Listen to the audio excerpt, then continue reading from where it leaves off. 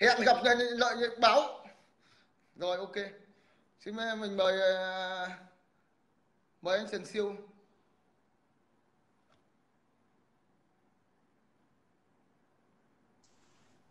ừ. rồi xin chào anh ừ. Trần Siêu thì hôm nay vâng, cái đề tài mà tôi nói là đầu tiên ấy thì nói về cái cái đề tài mà cộng sản có hèn với giặc hay không và có ác với dạ. dân hay không nhưng mà cũng chưa nói được cái gì thì là anh anh lợi minh lên thì anh cũng bức xúc về cái chuyện mà bọn nó xuyên tạc về cái chuyện mà mà mà ở mấy cái khu đặc khu kinh tế mà cho thuê đất 995 rồi chúng nó bảo bán đất cho Trung Quốc cái 995 nọ kia các thứ thì mình lại phản biện cái vấn đề đấy trước vâng và nói chung ấy thì à, về vấn đề này là anh em mình là người dân. Thì cái hiểu biết của vâng. mình ấy thì nói chung là cũng hiểu biết một phần. Và nghe thông tin và mình xem cái cuộc họp quốc hội mà mình à, phát biểu thôi mình nói thôi chứ còn thực tế là quốc hội mình cũng chưa quyết định. À, chính phủ cũng chưa quyết định là như nào. Họ còn phải nghiên cứu chứ. cái, bây giờ có quyết định ra vâng. cái luật về cái cái cái hành chính à. anh ạ chứ chưa có những cái luật vâng, vâng. về cái đặc kinh tế. Thì đấy. Thế mà là quốc hội này rồi nhà nước người ta trong ban kinh tế người ta còn nghiên cứu chứ. Chưa chi là các ông chưa trong nhà chưa tỏ nhà ngoài ngõ thế không các ông đã loạn lên rồi nhưng mà bây giờ tôi hỏi thật là các anh là nói về đặc khu kinh tế. Các ông đã hiểu thế nào là đặc khu kinh tế chưa? Đấy và cái cung cách à, người ta làm cái đặc khu kinh tế nó như thế nào? Đấy bây giờ tôi nói ví dụ tôi nói ví dụ là một cái khu vân đồn. Người ta làm cả nhà nước Việt Nam mình là à, người ta đang bàn là cách là cái khu vực đó người ta làm đặc khu kinh tế có thể bán có thể cho thuê.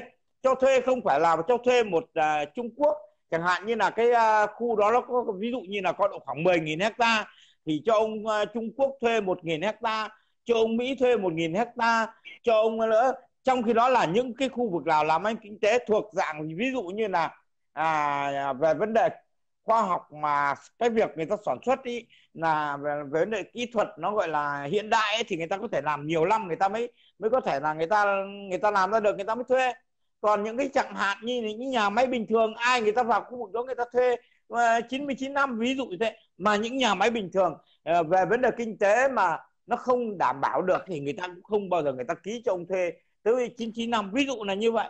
Đấy mình phải hiểu như thế. Nhưng mà trong vấn đề này á, là anh em ta chỉ có cái ý kiến nói lên cái chính kiến của mình thôi.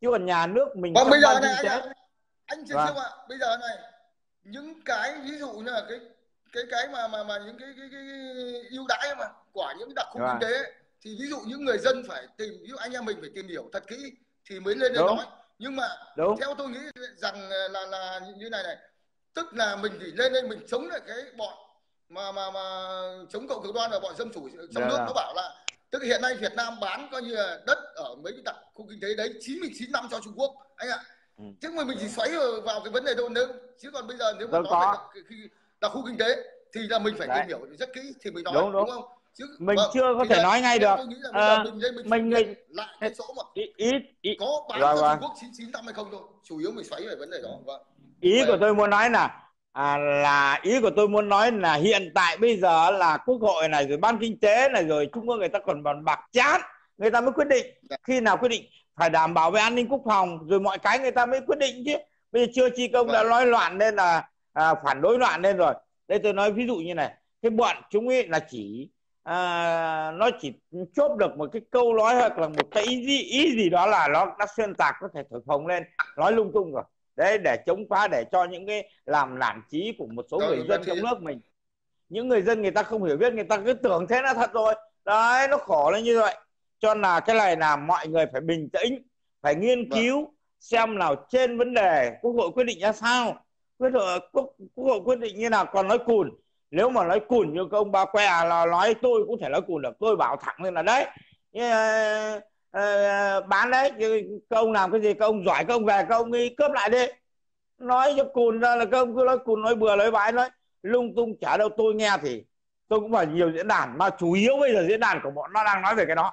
Đó là sự thật. Dạ. chủ yếu diễn đàn đang nói về cái chuyện bán đất 99 năm rồi cộng sản hết tiền. Bây giờ nó bán đi lấy tiền tiêu chắc là các ông nghĩ là cái cộng sản nó thiếu tiền uống cà phê uống để lấy cà phê bán đấy mà ờ bán đất để lấy tiền uống cà phê sáng mà đấy người ta phải lên là anh anh Trần Siêu ạ mình cũng vâng. phải ở đây ấy tức là cái bọn dân chủ của trong nước này rồi bọn chống. Dạ. cộng cực đoan này chúng nó ngu si này cái thằng phạm chí dũng là cũng là cái tiến sĩ về luật ở trong thành phố hồ chí minh này nó cũng trả lời mấy cái đài cái ngu si si dân đội này cũng có một cái vấn đề tôi nói với anh trần siêu nhé cũng có một số nhà báo gọi là biến chất người ta cũng wow. biết lái về cái vấn đề này không hay lắm mà tôi nói nhá tôi nói thẳng đó là cái bọn mà thi khối C ấy, văn sử địa 9 điểm trên 9 ấy, không biết cái gì về vấn đề kinh tế cũng đi wow. phân tích về vấn đề kinh tế tôi rất là phê phán những cái nhà báo biến chất đó Nghe chưa?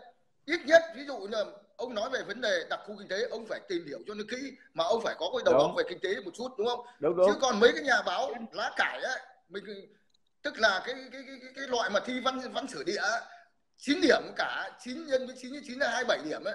Mà bây giờ coi như là nói về vấn đề kinh tế mà không có hiểu biết về vấn đề kinh tế nói thì tôi cực lực phản đối những cái những cái cái cái, cái nhà báo đó. Vâng xin mời anh tôi thì tôi tin tưởng rằng là nhà nước mình thì có rất nhiều người giỏi kể cả những nhà kinh tế cũng rất giỏi. Ví dụ dạ. như tôi nói đấy ngay dạ. như ngay như cái ông phó thủ tướng uh, Nguyễn Đức Đam ông lên ông phát biểu trên quốc hội tôi thấy là ông ấy rất là giỏi. Tôi khẳng định là một câu là như thế.